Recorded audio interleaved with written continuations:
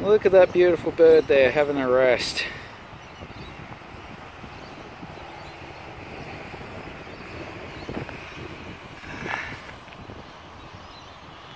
Cute little bird.